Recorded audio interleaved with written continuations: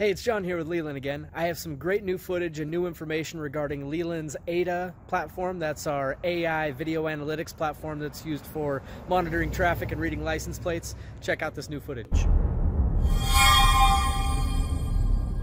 So what we're seeing here is a fairly chaotic but also fairly typical scenario in traffic and transportation in Southern California where vehicles are very, very close to one another. Uh, but AIDA is actually smart enough to tell where one vehicle ends and the next begins. It's not just seeing them as masses of pixels moving back and forth. So while we're accurately classifying vehicles as they move through between cars, trucks, buses, and so forth, we're also grabbing license plate numbers off of the vehicle as it moves through.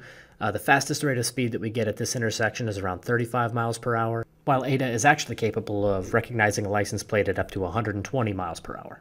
And as we're capturing these plates, they're being stored in a searchable database, which can be used for retrieval later on, which is great for integrating into a traffic management workflow.